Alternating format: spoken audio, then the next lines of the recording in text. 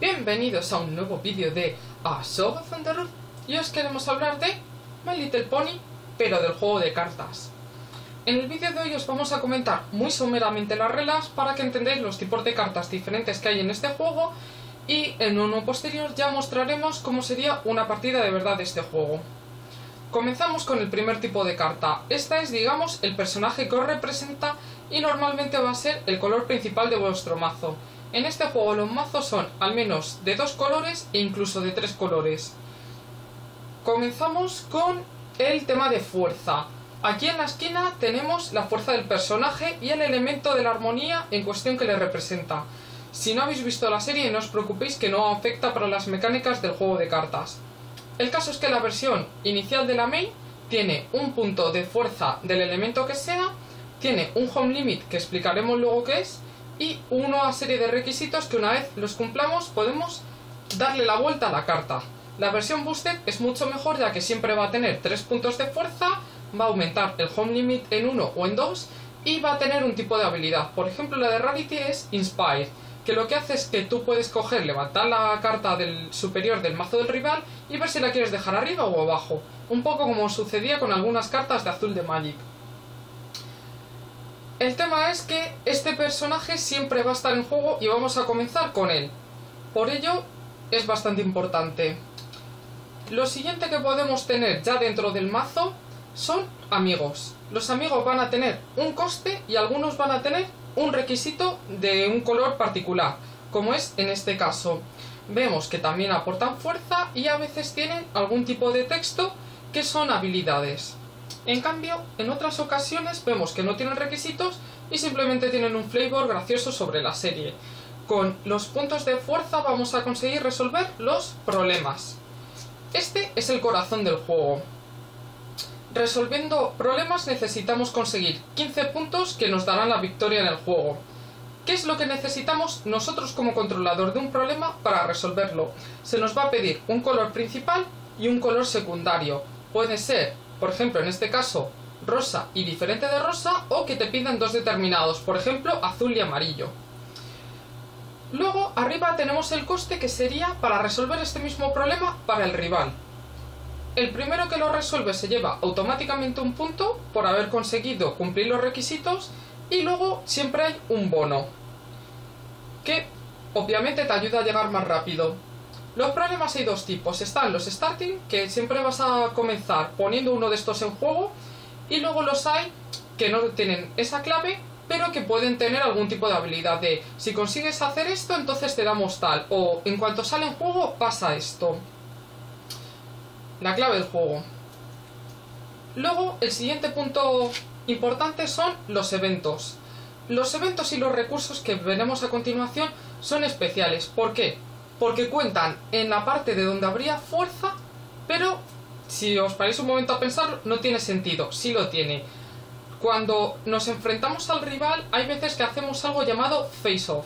Durante el face-off vamos a comparar la fuerza de nuestros amigos y nuestro main para llegar a una cantidad determinada y el que tenga más, pues ha ganado. Estas cartas también nos aportan fuerza cuando levantamos una carta del mazo. Luego, pueden tener un coste pueden tener un requisito y tienen una habilidad. Los eventos son como en Leyenda de los Cinco Anillos o en Magic. Es algo que afecta al juego y normalmente se va sin más. En cambio, los recursos son cosas que o quedan encima de un amigo o en el home haciendo un efecto continuado. Serían como los encantamientos en Magic.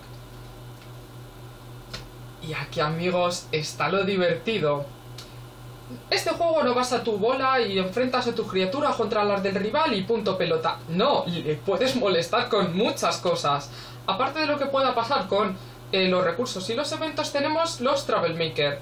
Esto tú coges y se lo pones a un problema del rival y le dices, te tapo los requisitos, tú ya no puedes cumplir esto y este amigo te va a hacer una putada. Tenemos arriba la fuerza, que va a contar como si fuese un amigo cualquiera para enfrentarse él solito contra el grupo rival. Y luego normalmente van a tener pues algún tipo de habilidad o un flavor.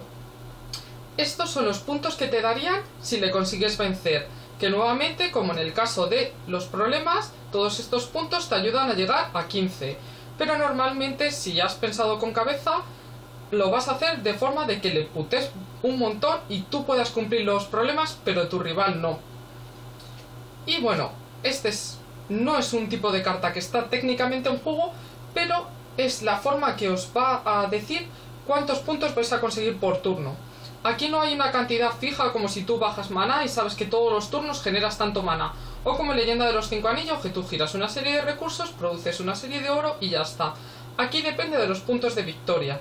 El jugador que vaya ganando va a dictaminar con los puntos el número de, sí, de tokens que se lleva por cada turno, tanto tú como el rival. Si él va ganando y genera 4, pues tú te beneficias en ese modo y puedes ir consiguiendo avanzar. Si alguien se está preguntando si este juego se juega fuera de Estados Unidos, deciros que sí. Podéis ver en Equestria Daily, por ejemplo, las cartas según van saliendo, estrategias y demás. Aquí en España, que es lo que la mayoría os vais a preguntar, hay dos tiendas que están vendiendo el material y que están organizando torneos. La primera es PvP Jerez, que es muy importante en el tema porque está dando muchísima caña al tema de juego. Se están organizando torneos, no sé si son realmente todas las semanas, pero parece que son muy activos.